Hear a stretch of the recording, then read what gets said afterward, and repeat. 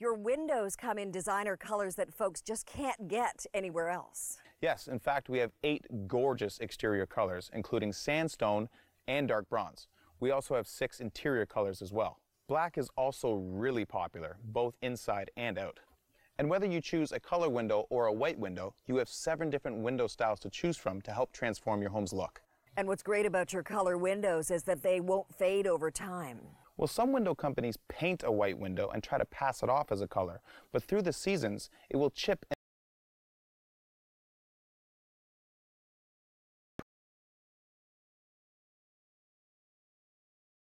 are under warranty to maintain their color. Michael, your windows are also custom built. What are the benefits of that? Well, our windows are manufactured to precisely fit your specific window openings, which helps provide maximum energy efficiency. Being custom built also means if you have any beautiful trim that you'd like to keep, we can install your windows without impacting that trim. A lot of homeowners think that a project like this will create a huge mess in their home. Well, our master installers seal off the work area, cover your furniture, and lay down drop cloths. Our crews are very particular about their work and keeping your home clean. They'll even vacuum everything when they're done. That is great information, Michael. Thank you. It's Renewal by Andersen's 31 day sale. Before March 31st, buy one window, patio door, or entry door and get the next one 40% off. Plus, save an extra $100 on every window and door you buy with zero money down, zero monthly payments, and zero interest for one year. Our 31 day sale ends March 31st. For a free appointment, call 1 800 504 4545. In Jerome's outdoor department, you get Jerry's price. And for a limited time, we pay your sales tax. Plus, no money down 36 months, no interest financing. Our solid weather resistant hardwood Maldives sofa, Jerry's price $9.98. Now at Jerome's.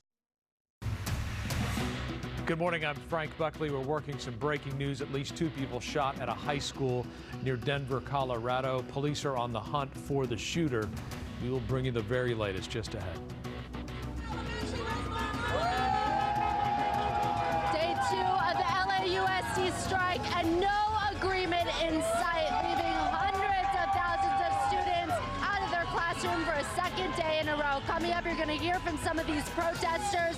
What they say is at stake. That's next. Good morning, I'm Carlos Herrera. Pothole nightmare on the 71 freeway yet again. We're in Pomona this morning. You can see part of the repair process now underway. But fixing all of this, that's going to take some time. We're live. Good morning, I'm Jessica Holmes. This latest atmospheric river nearly produced a tornado where people got a rare take cover emergency alert last night. Good morning, I'm Sam Rubin. New here at 10 o'clock, the notorious Hollywood madam Heidi Fleiss. Could there be a TV show in the works about her life? I think there is. And Post Malone avoids a trial over arguably his biggest hit song, Why Did He Settle? We'll talk about it coming up.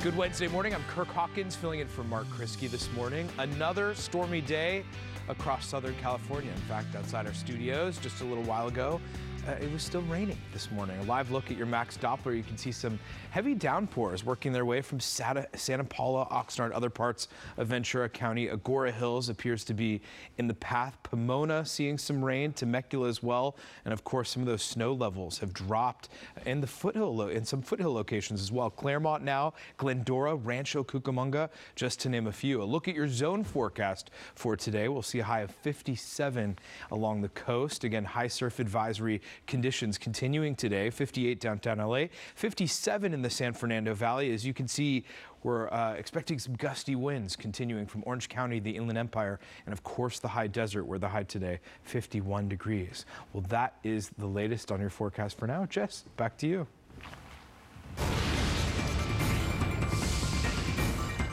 Breaking news this morning there has been a shooting at a Denver area high school this morning. Denver PD says two adults have been wounded at East High School in the downtown area. The two victims have been transported to local hospitals. Right now, it is unclear if the shooting happened on or off campus. Police say the suspect is no longer at the scene and the school has been placed on lockdown. We'll continue to follow that. Here in Southern California, in LA, LAUSD essential workers are rallying this morning on the second day of a three day strike. There's been no deal on a new contract. KTLA's Annie Rose Ramos live in Lincoln Heights with more on that. Annie Rose, good morning. Frank, good morning. No deal and no agreement in sight. We've moved over to one of the district offices here for LAUSD. I'm standing here with Lorraine because you are a teacher standing in solidarity, striking in solidarity with some of these workers. Why are you here? We are here standing in solidarity because respect matters. So this strike is about unfair practice charges filed on LAUSD. And so we do not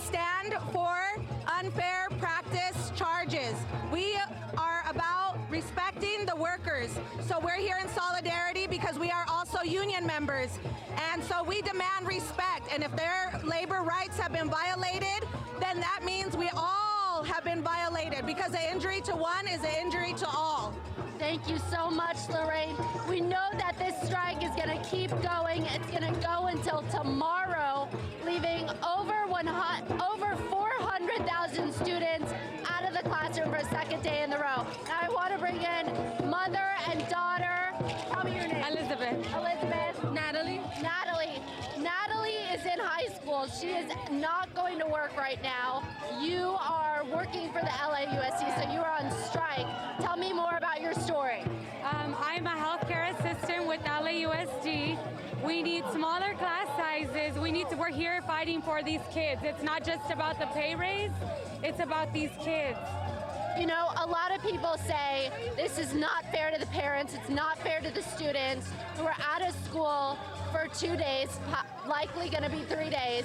You're a parent. Your Yeah. daughter is out of school for her senior year for two days.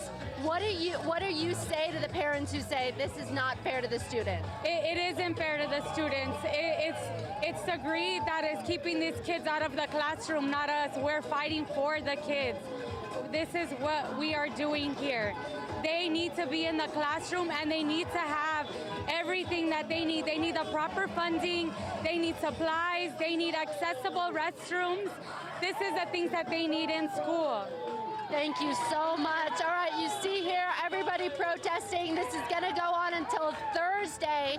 But again, no agreement in sight, no planned meetings between the district and the union set for today. So we'll see what happens come today and tomorrow. All of these workers you see here, they're going to be going back to work on Friday, but they say that doesn't mean that they may not strike again if they cannot reach an agreement. Reporting live, I'll send it back to you both in the studio. Okay, Annie Rose, we appreciate that. This morning, LAPD Chief Michael Moore has asked the city's inspector general to investigate how photos of undercover officers were released as part of a public records request.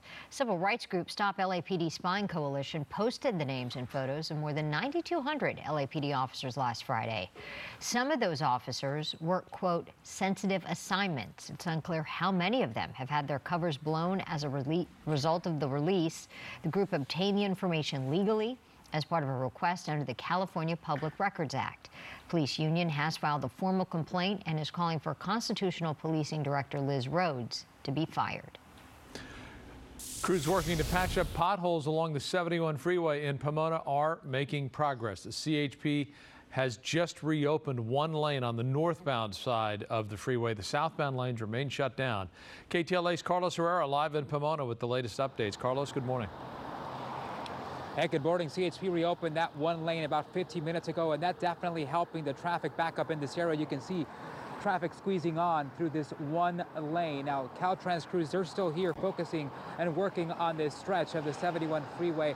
On the northbound side, they filled several potholes like this one you see here, but repairing all of them, well, that's going to take several hours.